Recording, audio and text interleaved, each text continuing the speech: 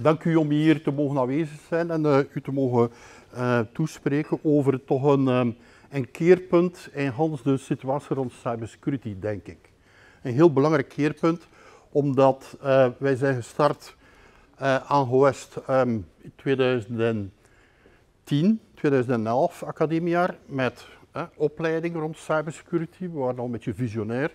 Maar in die periode was cybersecurity niet wat dat nu was. Nu gaat het heel heviger aan toe. Uh, ook uh, heel, uh, laten we ingewikkelder computersystemen hebben we. We hebben dat juist gezien, data, veel meer data. Dus de, de nood aan cyberveiligheid is bij iedere bedrijf, grote organisaties, kleinere organisaties, KMO's, bedrijven, heel, laten we zeggen, belangrijk. En Europa speelt erop in om ja, ze vinden dat het ook te traag gaat. En inderdaad, er zijn bedrijven, organisaties die daar heel sterk mee bezig zijn, al jaren, met die cyberveiligheid. Maar er zijn ook veel mensen die zeggen, ja oké, die hackers gaan mij niet aanvallen. Ik ben te klein. Of, ja, laat, laat eerst wat anderen uh, dat doen, want hè, we hebben te moeilijk, we hebben geen resources, we hebben daar niet te veel kennis van. En als ik daar zie, hè, of voor het dure factuur dat die consultants durven geven om ons te begeleiden, oei oei, hè, we, dat wat, hè, dat wat vertragen. Nee, Europa heeft gelijk om het een beetje te pushen. Ze hebben dat al hè, een, een paar, ja, zijn al een paar keer geprobeerd, met de NIS 1 al. GDPR was al wel een succes, vond ik, hè, waarbij dat er toch, toch visie was. Maar dan ging het meer over data privacy.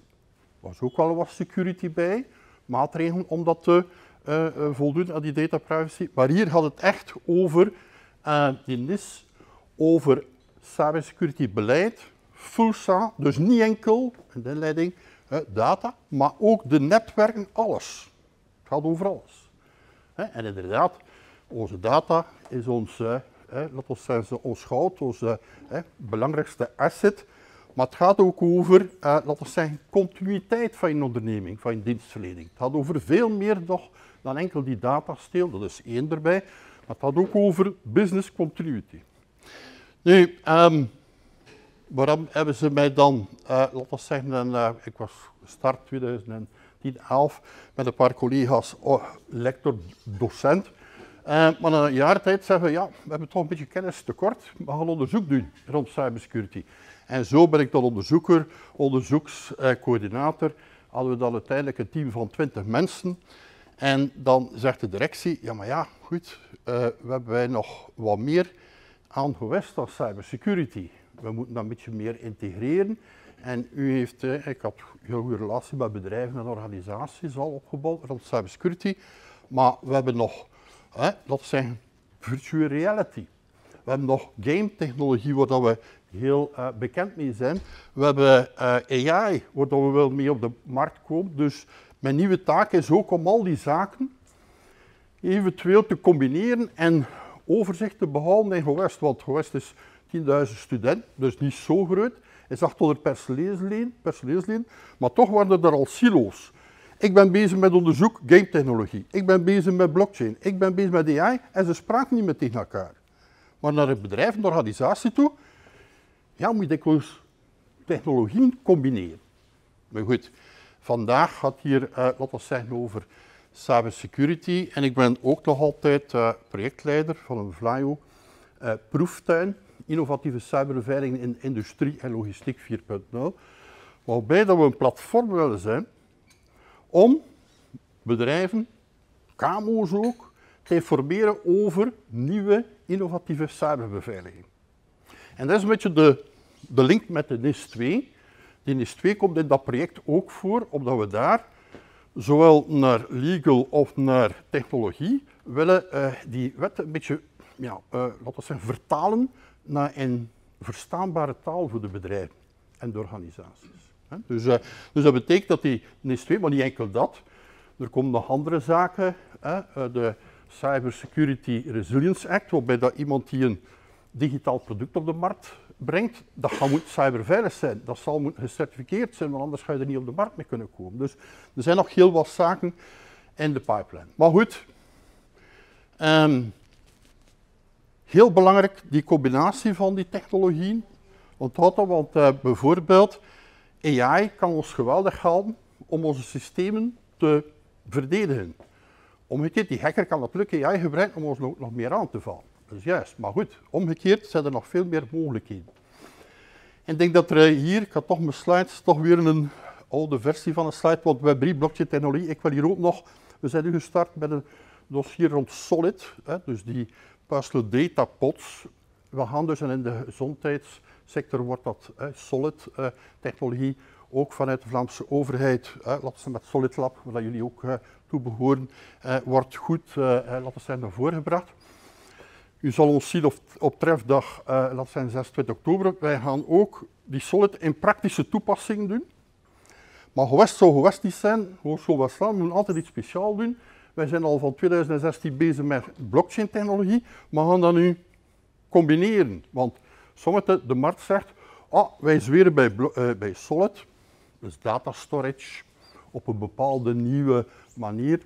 Andere Europa zegt, ja maar, blockchain technologie, maar wij zeggen, niet, geen ruzie maken, nee. je moet ze combineren. Dan ben je nog sterker. En zo komen we met Solid Lab ook, met de mensen die fundamenteel onderzoek doen, gaan we dan nu proberen meer ja, praktische zaken mee te doen. Maar goed, dat is kort en bondig. Uh, maar wat dat, uh, dat ik bezig ben, wat we mee bezig zijn aan Gewest, maar eigenlijk gaat het over andere zaken hè, vandaag. Het gaat over cybersecurity. Het gaat over uh, ziekenhuizen die gehackt worden. Het gaat over ransomware. Het gaat over bedrijven, productiebedrijven. Het gaat over kritische infrastructuur eh, die gehijzeld wordt. Het gaat dus over heel wat anders. En wat hebben we in NIS 1? Want ik had u al gezegd, NIS 1 was er al, maar dat was een beetje een ontgoocheling. Ook voor mij, ik had me daarop gefocust, omdat uiteindelijk mocht de overheid, de federale overheid, mochten bedrijven of organisaties aanduiden die eronder vielen. Maar goed, hè, bijvoorbeeld um, Europees gezien, NIS 1, ziekenhuizen vielen daar ook onder. Ja, maar als je zegt, als je de parameters van het aantal uh, bedden zodanig hoog zet, dat er geen enkel ziekenhuis van België daaraan voldoet en dus er niet meer onder, ah niet, niet in, in, aanmerking komt, ja, dat, dan heb je niemand meer in van de ziekenhuis die, die onder die NIS 1 kwam te staan. Dus, dus maar een voorbeeldje. Um, dus dat betekent dat er daar, laten we zeggen, toch uh, veel minder bedrijven, organisaties uh, eronder vielen. Die hebben wel heel wat inspanning moeten doen. Europa heeft ook geleerd uit die aanpak van NIS 1 en heeft gezegd, we moeten dat ruimer doen en we moeten dat anders doen. We hebben foutjes gemaakt, oké, en ik begrijp dat ook. Maar vooral hebben ze hier in dat eerste uh, uh, NIS 1 de bankinstelling, de kritische infrastructuur, de overheden, de, ja, hebben ze dat zaken willen beschermen. Is goed. Maar die eigenlijk al onder bepaalde wetten vielen en die eigenlijk al ook veel inspanning deden. Buiten de energie, energiewereld en zo verder. Maar goed. Dus een eerste NIS 1 en ze hebben daar dan gezegd, oei, we moeten dat daar werken, we gaan dat een beetje ruimer doen. We gaan daar hè, kijken hoe dat we dat kunnen updaten en we gaan naar de NIS 2 evolueren, waarbij dat we meer bedrijven gaan, ja, laten we zeggen, um, mee gaan nemen in dat bad en mee gaan nemen in dat verhaal en dus inspanningen willen laten doen. En dat betekent dat we inderdaad, 17 oktober 2024, die directief moet omgezet worden, is Europees, die is, die is er, die omgezet worden in al die landen, Europese landen, moet dan omgezet worden in een, in een, ja, in een wetgeving, in een wet, een Belgische wet. Men is daarmee bezig. Uh, wie is er daar hoofdzakelijk mee bezig? Natuurlijk de regering, maar, maar ook uh, Centrum voor Cybersecurity België, CCB, dat zal nog dikwijls een keer hier, die naam ken je waarschijnlijk al. Met Mick Wilde Bruiker als directeur. Um, en ik denk dat hij een tijdje in Alter gewoond heeft zelfs. Maar goed, dat is GDPR-wise, ga ik daar nu niet verder op uitweiden. Maar ik denk dat hij, hè, laten we hier uh, woont of nog gewoond heeft. Maar goed, speelt geen rol. Um, die mensen zijn daar bezig. En uh, die is twee. Ja, die wet moet er komen, dat moet voorbereid worden, dat moet door de regering kunnen goedgekeurd worden, ja, dat moet gelezen worden, dat moet upgedate worden, moet er overeenkomst over bestaan. We zitten in, een jaar hè, vlak voor de verkiezing.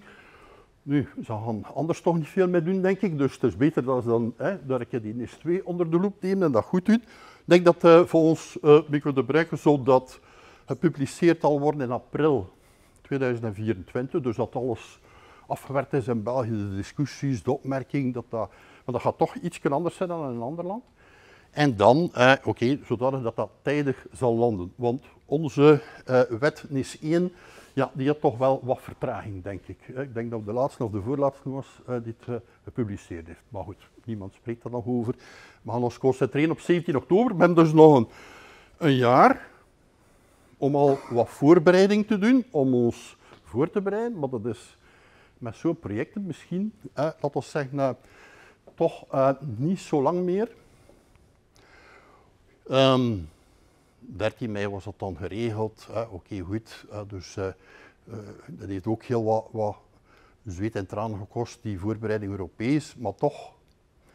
Um, er zijn daar een aantal zaken onder NIS 2, maar ik ga hier toch maar één toelichten wat dat eigenlijk te maken heeft met jullie. En dat is die accountability, dat risk management. En we zijn dan niet altijd gewoon in Vlaanderen om risk assessments te doen. Als je zegt in een bedrijf hebt je een keer een risicoanalyse gedaan naar cyberveiligheid. Oei, oei, hoe moet je dat doen? Dus, dus dat betekent dat we, eh, Anglo-Saxische landen zijn er al veel meer in getraind om risicoanalyse en dergelijke te doen. Dus dat is ook iets nieuws. Het moet vanuit die risicoanalyse komen. Want ieder bedrijf is anders, iedere organisatie is anders. Niet alleen dat grote, maar ook nog belangrijkheid en zo verder. Dus ja, je moet je risico's uh, kunnen bepalen volgens, uh, laten we zeggen, uw bedrijf of uw organisatie. En CCB heeft daar straks, die cyber fundamentals die er uh, ook ga dat ik ga bespreken, hebben ook tools ter beschikking. Dus geen paniek als je zegt, ja goed, we weten niet hoe moeten we daar hier nu aan beginnen. We beginnen van nul, we laten uh, misschien straks wel begeleid door consults, maar we gaan al keer zelf het een ander proberen. Wel, er is al heel wat tools beschikbaar dat je elke keer kunt bekijken.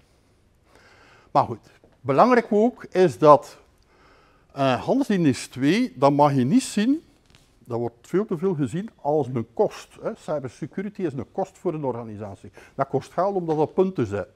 Nee, dat is geen kost. Dat is kwaliteitszorg. Dat is werk aan uw kwaliteit. Dat is uw dienstverlening in stand houden.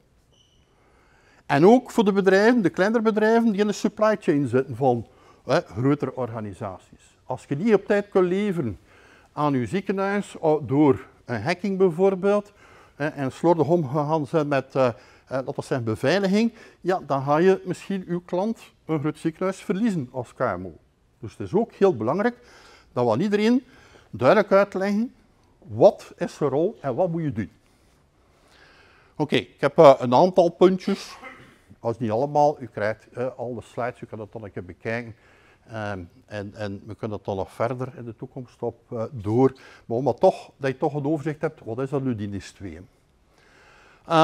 Eerst en vooral de blauwe, dat zijn die van de NIS 1. En de roodjes die erbij gekomen zijn, hè, dat zijn er die um, ja, dat is erbij genomen. Die gezegd hebben, we moeten dat ruimer zien dan de NIS 1.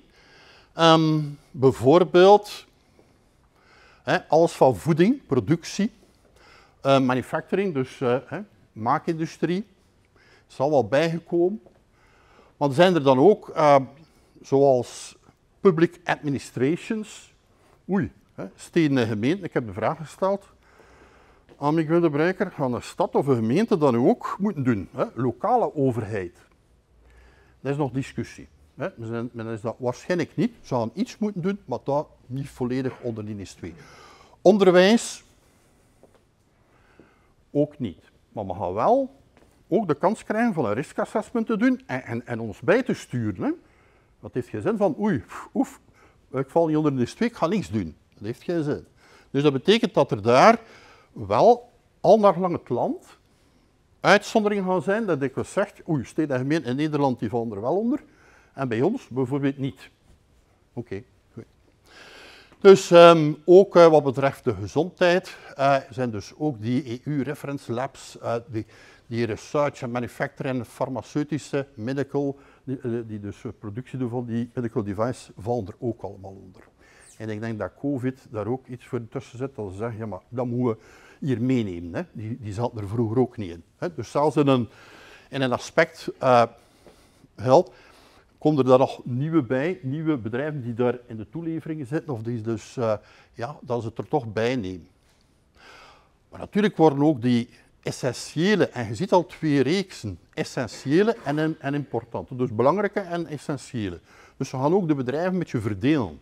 Is zo. Maar dat komt straks aan denk. Ik heb hier een, eh, straks eh, een, hier is voilà, een schitterende spreadsheet, vind ik. Als je, hem, als je hem dicht gelezen, dat schitterend. Maar waarbij dat alle sectoren vermeld staan, de subsector vermeld is en dan eh, val je onder de NIS 1, oké, val je onder de, uh, laten we zeggen, een, een essentieel bedrijf, zeg je een belangrijk bedrijf, een importbedrijf, of zijn je niet in scope. En je ziet bovenaan ja, dat allemaal ook veel te maken heeft met de grootte van je bedrijf. Ja?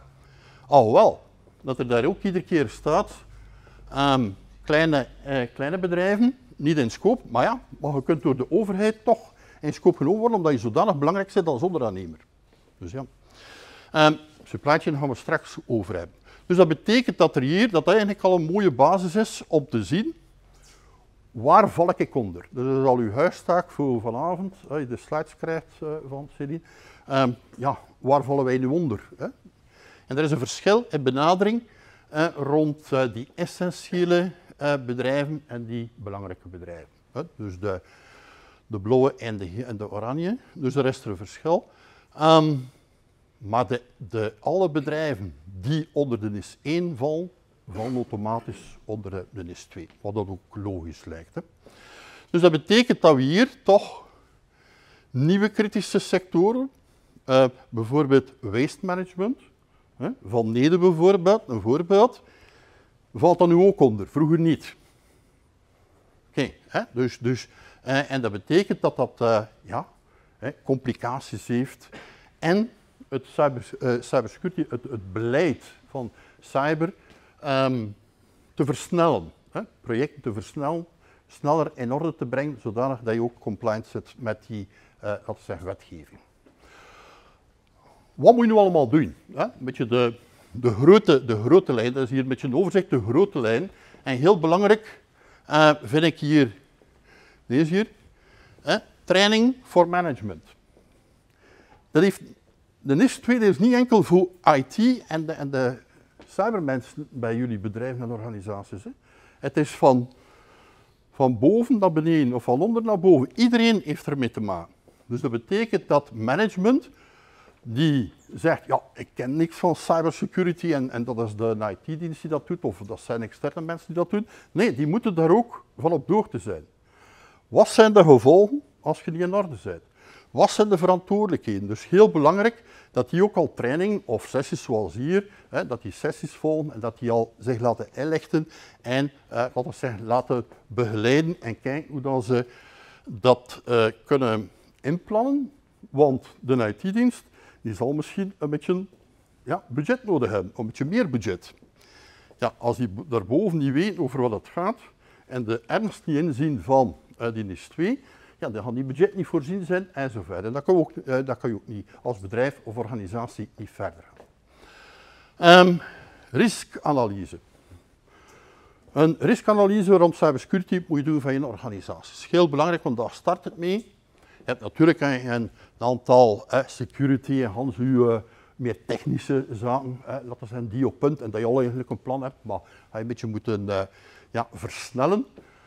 En de derde is een beetje met een dada, de supply chain security, met een dada. Waarom? Omdat die KMO's zeggen, oei oei, oh, ik zit in dat derde kolonnetje daar, ik val er onder, moet ik niks doen. Jawel, ze zitten in eventueel, u bent verantwoordelijk, staat dat uw bedrijf valt onder de NIS 2. U bent een KMO die in de supply chain zit. Hij zit verantwoordelijk voor de cyberveiligheid van, u, van die KMO die u toelevert. Verantwoordelijk, hè? Dus als er een hacking uw dienstverlening valt stil, door de connectie dat je hebt, computersysteem en, en zo verder met elkaar, en, en de, de fout ligt bij jullie, ja, dan zijn jullie verantwoordelijk. Dus je ziet, wat gebeurt er nu? En daar kunnen we hè, samen met uh, Patrick van Vlaio en zo en de proeftijd hebben we wel oplossing om uh, die KMO's. Je moet eigenlijk je supply chain ook al in kaart brengen. En wat gebeurt er nu veel? Bedrijven sturen vragenlijsten naar al die KMO's en al die onderaannemers, uh, vragenlijsten. Hoe is het met dat, hoe is het met dat, en ze moeten dat invullen. En uiteindelijk, die KMO's kennen dat niet zo goed. Het zijn allemaal technische vragen, maar ook naar policies en zo verder. Die begrijpen dat niet zo goed. En dan komen ze, uh, ja, oké, bij hun IT'er die daar services biedt, of komen ze bij gewest terecht, of komen ze bij iemand terecht die zegt, ja, wat moet ik hier nu mee doen? Hè? Die vragenlijst. Vragenlijst, oké, je kunt dat doen, maar eigenlijk is dat niet het juiste systeem. Je moet dat anders gaan doen. Je moet je supply chain in kaart brengen. Je moet met die mensen rond tafel gaan zitten. Eventueel met accountmanagers rond tafel zitten die die hè, KMO kent, die bijvoorbeeld toelevering is. Wij kunnen erin helpen, uh, Vlaio kan erin helpen, om die mensen ook een stap, hè, de maturiteit te laten verhogen. Zodanig dat ze een goede, betrouwbare eh, supplier zijn. En dan ze, hè, zodanig dat je dan ook je supply chain, eh, laten we zeggen, op, eh, op in orde krijgt. Training heb ik al gezegd. Hier vind ik wel de moeilijke. Je moet incidenten gaan ja, bekendmaken hè, door de overheid. En in tussen haakjes, maar daar nog meer straks voor certificatie. Ja, moeten we nu allemaal ISO 27001, uh, uh, moeten we certificaat hebben of niet? Hè? Straks uh, meer uitleg daarover. Maar dus dat betekent dat er, als we nu kijken, als er nu iets gebeurt, wat moet er dan ook gebeuren? Wel, binnen 24 uur moet je, hè, dat zijn een, en dat ga je wel zien in de wet, wie dat je moet eh, waarschuwen, verwittigen dat er iets gebeurd is bij jullie. Ook GDPR-wijs ga je waarschijnlijk zaken moeten doen, maar goed. 24 uur, nu, 24 uur, dat is nu nog, ik denk dat bij GDPR 72 uur is of zo. Hè? Dat is 72, het is hier al 24. Ja, 24. Ik heb al een vijftal hackings van dichtbij meegemaakt, de kleinere KMO's. Ja, dat is panieksituatie. Dus alles hè, dicht, je kunt niks meer doen met hun systeem. En binnen 24 uur hier ja, iemand bereiken. Ze kunnen al niet meer mailen, ze kunnen al niet meer, ze kunnen al niet meer ja, eh, ze ja, een klant niet bereiken, de leveranciers niet bereiken, ze kunnen personeel beginnen onrustig te worden, ze kunnen niet uitleveren, panieksituatie, binnen 24 uur moet je melden. Um, maar goed, en dan, uh, laten we zeggen, moet je, dat vind ik toch wel de moeite, binnen een maand, dus binnen de maand moet je eigenlijk al ja, een rapport hebben van wat er gebeurd is. Dus dat betekent dat iedereen gaat verplicht zijn van forensisch onderzoek te laten doen. Wat is er nu gebeurd? Hoe, hoe zijn ze binnengekomen in onze systeem? En, en, dat moet in kaart gebracht worden. Dus dat betekent dat je ook weer andere specialisten gaat nodig hebben die dat in kaart brengen, die daar een rapport van maken. En dat moet dan ook, eh, laten we zeggen, eh, gerapporteerd worden. Dat vind ik wel, ja, eh, als je ziet, bepaalde grotere bedrijven die hoeveel, drie, vier, vijf weken platgelegen hebben in de regio. En ze moeten dan al dus, ja, moet je al direct een rapport gaan maken en dat moet kloppen. Ja, oké, dat vind ik toch wel heel sterk. Dan ga ik hier wat doen.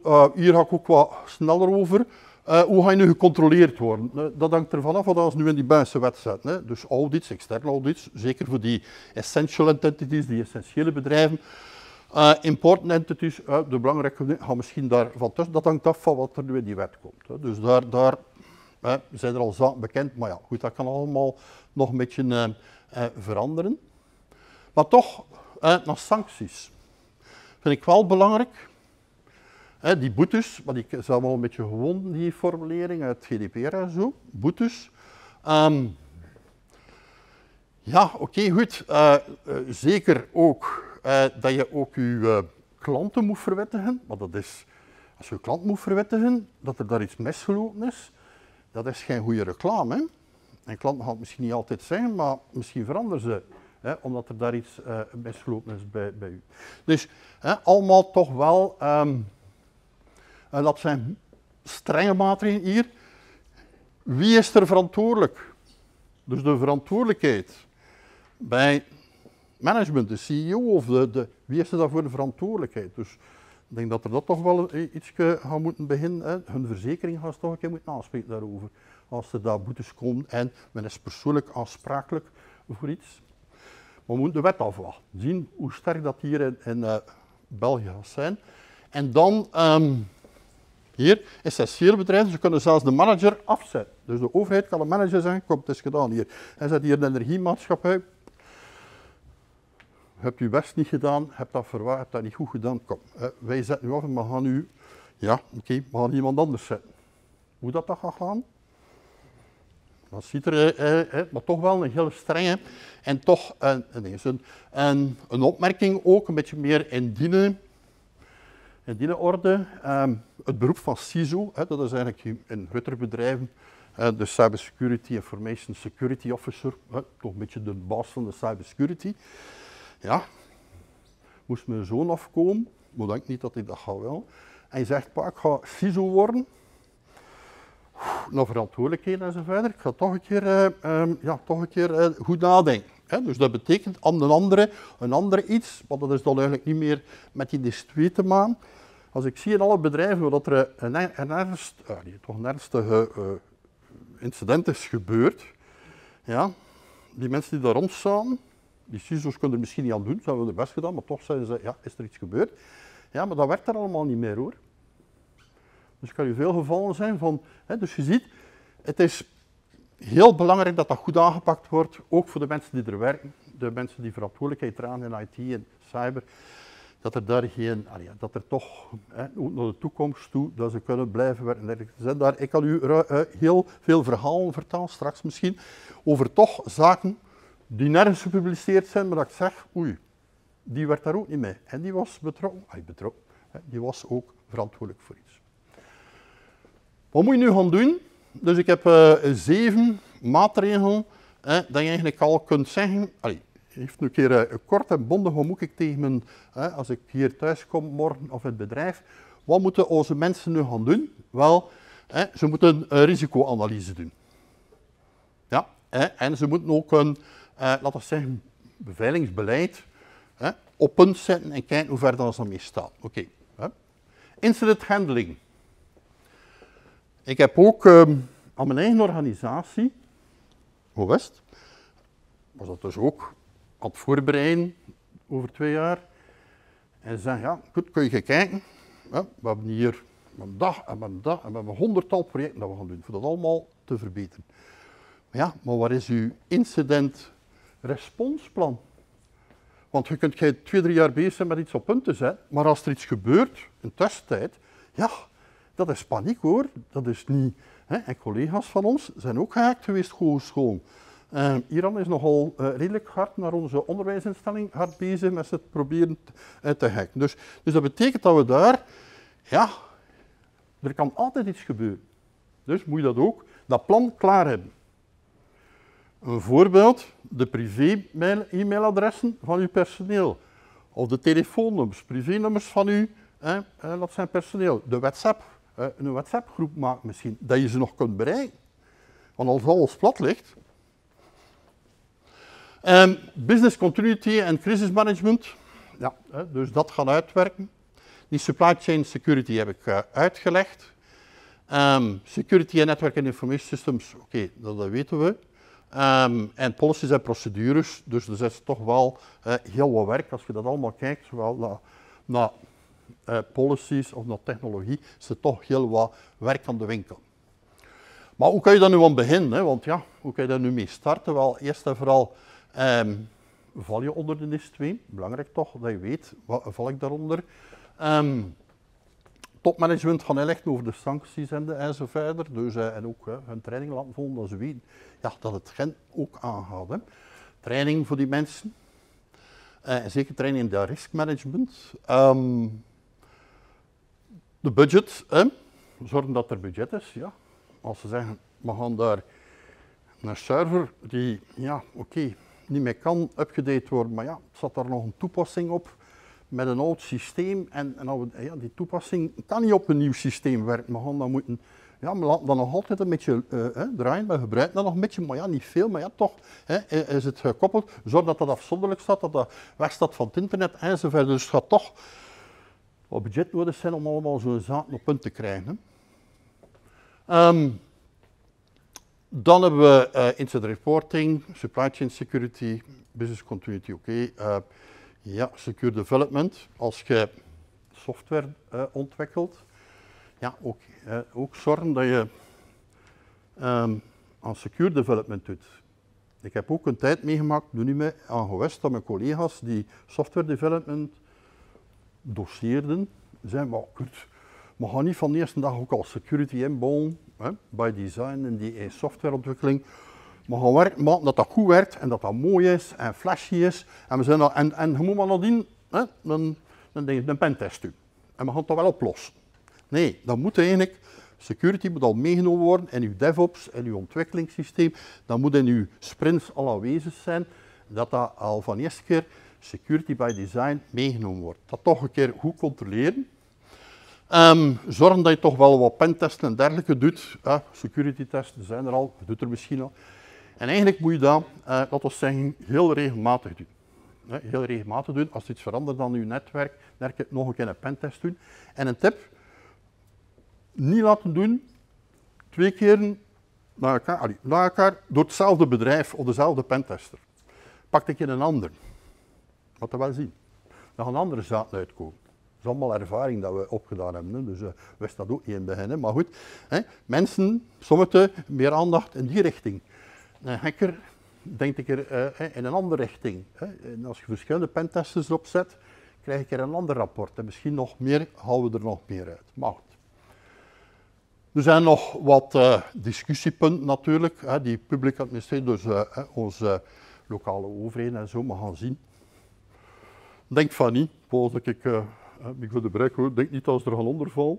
Dus ook, ik denk dat er hier iemand is van de brandweer of zo, dus dat, dat gaat er dan ook niet onder vallen. Maar ja, had toch iets moeten doen. Hè? Dus uh, dat toch iets moet gebeuren. En dan hebben we die Cyber Fundamentals Framework. Dus ik heb hier de presentatie van CCB over, ja, hebben ze nog iets ja, buiten de wet opstaan en ons een hele hoop zaken laten doen. Geven ze ook een beetje tools aan ons. Hè? Dus ja, om het een en ander al op te starten en, en ja, dat je niet hè, geen tien keer moet, uh, of, of onze opleiding en studies doen en um, om, om tools te hebben, misschien al e-, eerst eenvoudiger tools, om al een keer iets uh, in kaart te brengen. Ehm, CCB moet dat doen, hè, want ze moeten, zijn ook verantwoordelijk um, voor uh, die security standards, voor de mensen te informeren. Ze hebben ook plichten in de NIS 2. Het is niet zo dat enkel organisaties en bedrijven zijn. Het zijn ook, onze overheid, CCB heeft ook een rol te spelen en moet ook zaken doen. En ook eh, certificatie, maar daar straks eh, meer daarover. De risico's, dat kennen we al. En dat vind ik wel goed. Um, dat ze gaan zorgen voor een, een framework. Ik ga toch de volgende nemen. U kan, er bestaan frameworks, hè, de standaarden, ISO 27001, NIST uh, Cybersecurity Framework, uh, SIS Controls, IEC. Je kunt zeggen, ja, moeten we dan een van de die nemen? Wel, daar is er heel wat werk aan en dat zijn heel, zeer goede. Maar CCB heeft nu een beetje een, een, analyse gemaakt van die bestaande standaarden en daar een beetje een, een uh, nieuwe versies van gemaakt. Die en in vier levels. Dat, dat, je niet, een klein bedrijf dat dat dan een hele ISO 27001 certificatie moet ondergaan. Hè. Dat is veel te log en veel te veel voor een klein bedrijf. Hè. Dus ze hebben daar een klein beetje een, uh, en meer een oefening gedaan, zodanig dat ze small, basic, important, essential, ja, hè, dat ze u een test laten doen, een risk assessment laten doen, en dat je dan weet, wat ben ik hier nu eigenlijk voor NIS 2? En daaraan gekoppeld dan ook tools, zodanig dat je enkel, als je nu onder small, onder basic valt, dat je enkel de zaken van basic doet. Je moet niet beginnen met zaken te doen die eigenlijk gevraagd worden aan een essential bedrijf, doe enkel, als je in die categorie valt, doe enkel uh, die zaken.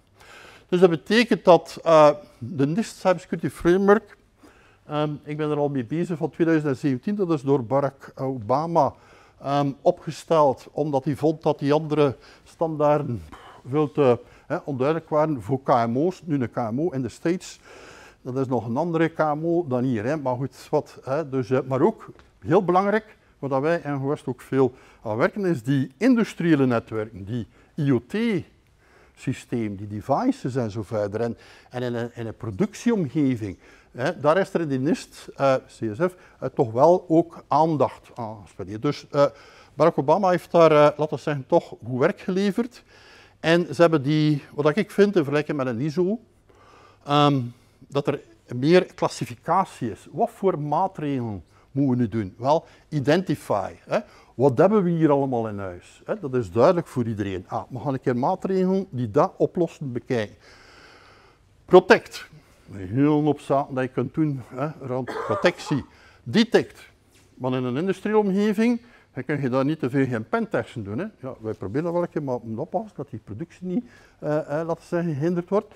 Je moet dat op een andere manier gaan monitoren als er iets gebeurt. Je moet dat op een andere manier gaan beschermen. Detectiesysteem.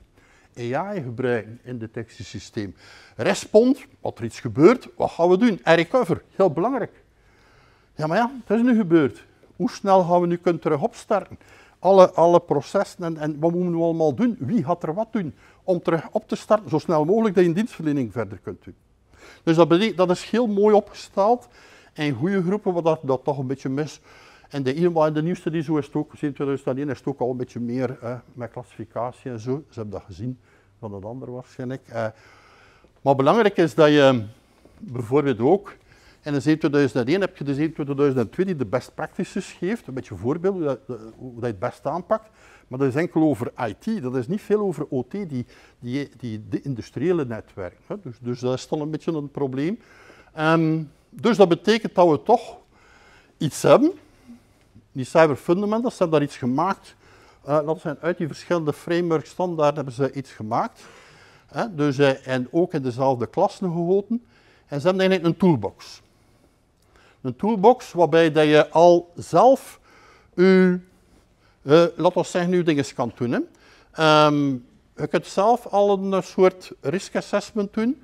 Je kunt al kijken, wat, wat, wat, voor niveau ben ik? Je kunt dat eigenlijk al met je IT goed opstellen en je krijgt er al een resultaat mee. Dat zijn spreadsheets, hè. daar kun je van die sites, ccb.be, kun je afhalen.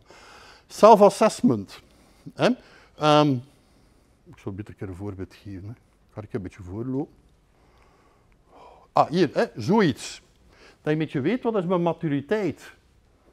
Wat is mijn maturiteit? En als je dat doet aan je management, hè, al, al die klassen dat we daar hebben, en dat is onderverdeeld, en wat is onze maturiteit? Als we zeggen, we overal level 3 hebben, waar staan we nu? Het kan zijn dat we sommigen al 5 staan.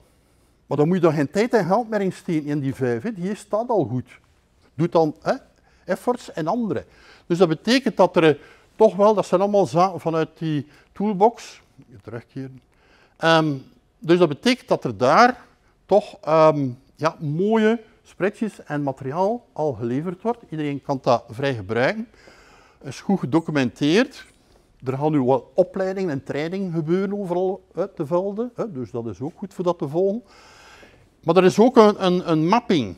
Je zegt, ja, maar wij zijn bezig met ISO 2001, we moeten naar een andere... Nee, je kunt hè, de mapping, het staat duidelijk, wat dat je als je cyber uh, security fundamentals doet, of je doet ISO, wat, de vertaling van het een naar het ander. Oké, dan zeg je, maar ISO is dat hier al in orde? En wel, je kunt dat gaan zien, wat is er dan in orde in, in, het, in, het, in de nieuwe standaard, ga maar zeggen. Nu, die nieuwe standaard moet nog onderzocht worden of dat, dat een certificatie kan worden. Want dat is iets dat gemaakt is. Ik heb vraagtekens, maar ik vergeet altijd te vragen, hoe gaat dat ook, gaat dat ook in het buitenland? Hè, voor, een, organisatie die ook in het buitenland actief is, gaat dat daar ook bekend zijn dan, hè, die certificatie? Dat je zegt, oh, wij zijn hè, Cyber Fundamentals uh, certificeerd. Ja, maar ja, dan in Frankrijk en Nederland heeft dat ook, die certificatie, of niet? Hè? Dat is nog een vraag dat ik, uh, ik ga dat proberen snel op. Uh, meer, maar, zelfs in België zijn, nog, ze nog bezig, Biliac is dat waarschijnlijk, Patrick, die organisatie, die dat, die dat controleert. Die dat gaat zeggen, voilà, die nieuwe standaard daar, dat is een nieuwe certificatie. Het is wel ook volledig gebaseerd voor die NIS 2. Hè, dus, dus de ISO 2001 zitten er nog veel andere zaken in. Hè, dus wat gaat ook volledig uh, aan die uh, NIS 2 gekoppeld zijn. Dat is hier een voorbeeldje. Een voorbeeldje als we zeggen respond. Oh, het respondplan. Um, wat moet je hebben als, als je die test doet en je zit een basic bedrijf? Hè? Een basic bedrijf, wel, dan ga je drie zaken moeten doen. Als je een important bedrijf zet, ja, heb je al wel veel wat meer werk te doen. Hè? Dus de, de zaken van basic, maar plus al een heel hoop nog andere toestanden dat je eigenlijk zou moeten doen als je een, import, een belangrijk bedrijf zit. En zijt je een essential bedrijf, ja, dan moet je nog forensics, moet je nog automatisering erin stoppen, moet je nog meer doen. Dus dat is mooi opgevat. Ik vind dat mooi opgevat dat dat start. Anders een, een ja, certificatie, dat is allemaal voor hetzelfde. Een klein bedrijf of een groot bedrijf, of, of, het is allemaal hetzelfde dat ze moeten doen. Nee, ze moeten veel doen. Nee, een kleiner bedrijf kan iets minder acties doen. Hè, en valt dan, hè, dat we zeggen, en dat is allemaal getest geweest ook op uh, zaken die gebeurd zijn in het verleden. Wat, is dat nu voldoende voor een basic bedrijf als Schenkel dat doet, wat betreft de respons? Hè? Dat is nu een van die onderdelen dat we daaruit nemen. Dat is, uh, dat is hierin, ik ben hier nu eentje uitgenomen, respond. Wel, dat betekent dat we voor basic dat moeten doen, important bedrijf, belangrijk bedrijf moet dat doen, essential bedrijf moet nog veel meer doen. Ze garanderen, maar dat geloof ik niet. Als je dat allemaal doet, eh, allee, vooral, die, vooral die dingen, dat je 100% veilig zet. Maar ja, dat is, ja, oké, marketing zeker. Maar goed, zijn percentages. Op, op, op, uh, ja, allee, op, op ding, maar ik vind dat een gevaarlijk iets. Um, als je kijkt, wat voor maatregelcontroles noemt dat? Maatregelen kun je doen om die risico's te verminderen. Wat is hetgeen dat je doet? Je doet de risicoanalyse, je hebt de risico's en we proberen ze te verminderen. Wel, uh, basic zijn er 24, 4, oh, vooral die klassen, hè? 34 hieronder en 7 onder 44. Dus je ziet, het is een beetje opgesplit volgens dat je, en als je dan een heel klein bedrijf zet, uh, zijn er wat guidelines dat je kunt volgen om in orde te zijn. Al naar lang wat die risicoanalyse zegt over u wat voor bedrijf of organisatie uh, dat je zijt. Um, ik heb dat in de proeftuin ook in het dossier geschreven, dat we dat opsplitsen, het beveiligingsbeleid, hè, de policies, en het technische. Hè, draaiboeken in onze uh, uh, proeftuin. En, en ze hebben dat ook gedaan. Want in andere staat het allemaal door elkaar. Ja, technische zaken en en, en heel praktisch dan, en dan, dan hè, meer uh, management en dingen, en governance zaken. Nee, uh, dus ook mooi, laten we zeggen, in twee klassen. Waar je kan zijn dat je voor praktische scoren zeer goed zit, maar je document en je, en je, je, policies ja, nog niet goed zit.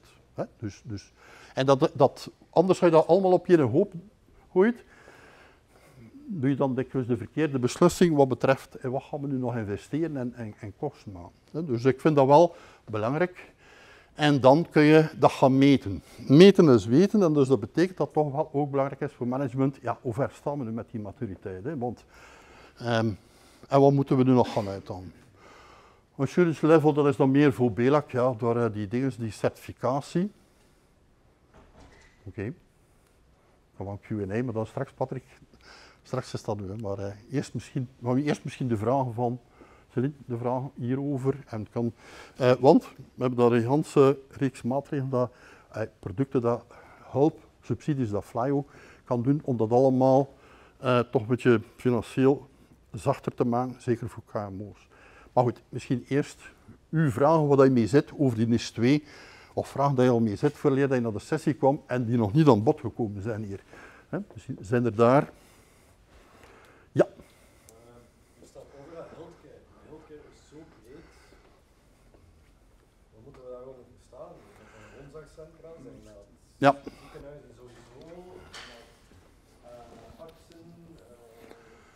Daar uh, moet je nog even wachten op de wet. Ze zijn dat aan het bediscussiëren en ook met jullie, uh, moet ik gaan zeggen, overkoepelende organisaties. Want uh, woon- en zorgcentrum van vroeger dat klein en onafhankelijk was, ja, het zijn wel veel grotere groepen die aan elkaar geconnecteerd zijn, de netwerken en dergelijke. Dus, dus dat betekent dat die uh, zaken gaan gedefinieerd zijn in de wet en, die, en die, wie dat er echt onder valt in België, zal gedefinieerd zijn en zal met naam en toenaam beschreven worden. Um, ziekenhuizen, zeker. Woon- en zorgcentra, zal ze nog aan het bekijken zijn. Maar langs de andere kant, woon- en zorgcentra, als die ook gelieerd is aan een ziekenhuis, zit in de supply chain of in dingen, ja, het kan zijn, of zit op hetzelfde netwerk of, whatever, gaat het toch uh, uh, eventueel er ook onder.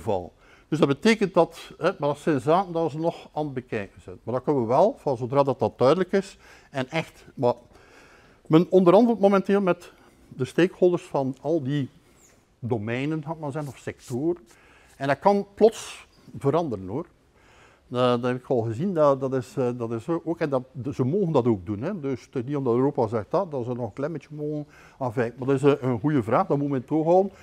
Vanaf wanneer? U kan natuurlijk ook gaan zien, als je een groep van, eh, hoe zou ik dat nu behandelen, zonder dat ik daar inlichting krijg, een groep van uh, uh, woon- en zorgcentra, en die zitten allemaal hè, die zitten in één groep, en dan moet je gaan kijken naar je personeelsleden, naar je dingen, ja, dan, dan, dan zou ik toch al een keer met een spreadsheet daar bekijken.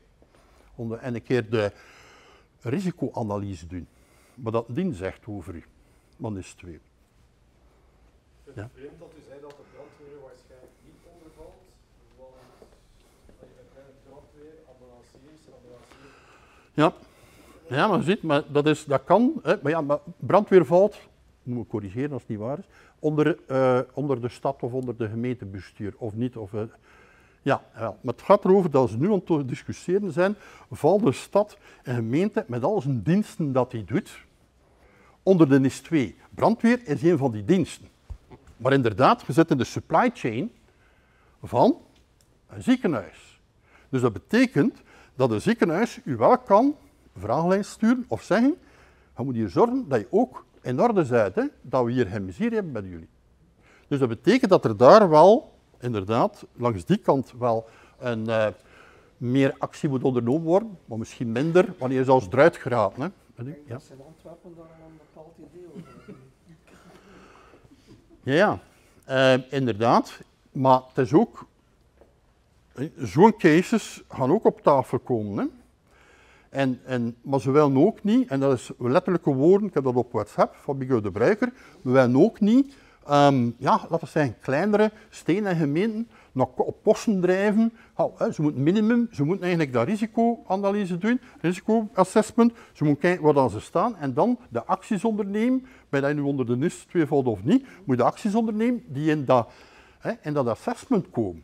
U hoeft niet onder die NIS 2 te vallen om, om acties te ondernemen. Maar goed, ik begrijp ook, hè, dus dat dat toch wel een beetje... Wel, Moeilijk is. ehm, als je de samenhang van GDPR, ik spreek voor woonzorgcentrum, ja, samenhang van GDPR met dat zit eigenlijk het groot stuk van die dingen die ik gehoord heb, puur onder de GDPR voor een aantal dingen te dan za- ja.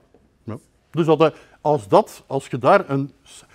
Als jij al een beleid hebt, in kader en functie van GDPR, of er zijn organisaties die onder een speciale wetgeving zoals banken vallen en ze zijn daar ook al in orde, dan is dat in orde voor die, voor die NIS 2. hè. Dus, dus, dus dat betekent, je moet geen twee keer in orde zijn. Als je zaken opgelost hebt, in orde gebracht hebt, en dat valt, en dat zijn dan de acties die gevraagd worden bij je assessment, en je kunt die afchecken met je GDPR, eh, eh, laten we zeggen, eh, oplossing die je gebracht hebt, ja, dan is het in orde. Dan ga je, dan ga je het ook kunnen, doen. maar er is een groot verschil, dus enkel het gedeelte cybersecurity. is het wel een verschil gaat de overheid dat financieel ondersteunen, maar hey, dat, dat is enorme kapitaal dat dat gaat verder van, van die RGT's en ziekenhuizen. En wie gaat dat allemaal? Want, hey, die mensen bedenken iets, Europa bedenkt iets en dan ze dat, ze gaan iets uitschrijven en wie gaat dat betalen? Nou, dat, is de reden, dat is de reden ook dat de overheid, CCB, en de mensen die de wet schrijven, aan het onderhandelen zijn met de sector, de sectororganisaties enzovoort, om een evenwicht te vinden. Wat moet er nu gebeuren? Hè? Dat inderdaad financieel haalbaar is. En in NIS 1, dat is de reden waarom dat, hè, de parameters zodanig hoog geweest zijn dat er geen ziekenhuis onder viel. Allee, niet, niet, niet moesten doen. Ja, oké, goed. Dat is een, een onderhandeling waar dat de regering knopen gaat moeten doorhakken. En dat, ligt, eh, dat is bezig. En daar kunnen we alleen maar hopen dat de sectorverantwoordelijken van jullie sector met de overheid, die daar betrokken is, twee, dat ze daar een goede compromis sluiten en eventueel ook naar, ja, ik weet niet, financiering of dergelijke eh, zaken eh. Dat is bezig. slides zie je uh, dat er een heel groot verschil tussen policy en effective practice. Ja. Een aantal slides terug. En dus staat dat dan goed dat er heel veel documenten gaan moeten geschreven worden of gecreëerd worden Ja. om incident handling te doen Ja. en reporting te doen. En je hebt het technische luik, Ja. hè? technisch gelijk. En hebt het, eh, laten we zeggen, bijvoorbeeld in een incident responsplan, ga je moet technische mensen hebben die die eh, backups terugzetten, die kijken of, waar zijn ze hier binnengekomen, die dus technisch werk doen. Maar ook ga je een plan hebben. En een plan, wie gaat er bijvoorbeeld communiceren naar de klant of naar de, naar de patiënt of whatever. Wat dat. Wie gaat er dat nu en hoe gaan we dat doen? Alles ligt plat. Hoe gaan we ze verwittigen dat er bijvoorbeeld geen consultaties of zaken kunnen doen? Dus dat is meer die policies. Hè, dat is dat gedeelte. Wie gaat er dat in handen nemen bijvoorbeeld? Wie gaat er personeel verwittigen? Hè, er komt dan een heel hoop praktische zaken bij. En dat gaat dan onder een, een of andere policies, eh, policy toebehoren. Ja, dus er moet veel ehm, ja, papierwerk of afspraken. En afspraken dat ook personeel kent, dat iedereen dat kent, die afspraken, als er iets gebeurt. Dus, dus dat is inderdaad, eh, maar dat is, eh, ja, dat, dat is inderdaad een, een Dat zijn de procedures. Dan hebben we ook nog een technische lijn. Ja. Eh, technisch gelijk kan bijvoorbeeld zijn in een assessment dat ze zeggen, ja, jullie doen, jullie doen één keer in, zes jaar een, een, een pentest. Ja, maar moet een, iedere, iedere keer dat je iets verandert aan je netwerk, ga je moet een pentest doen. Of je moet zelf eh, software installeren die, die kwetsbaarheden opzoekt automatisch. Hè, omdat je dat niet iedere keer eh, wel ook eh, eh, externe mensen laat doen. Dus dat kan zijn hè, in die ding, dat je opdrachten krijgt, technische opdrachten ook. Ehm, op met preventief bedoel je inderdaad wanneer dat je detectie, een productdetectie die, die zegt ik ga dat monitoren, dat netwerk. En we gaan kijken als er, dan denken dat er iets gebeurt. Dat zijn ook zaken die kunnen, eh, die kunnen gevraagd worden naar uw assessment. Of dat dan nodig is bij jullie of niet. Oké, we gaan het volgende topic doen, Patrick, want anders ga ik buiten de tijd gaan. Hartelijk dank. Voilà.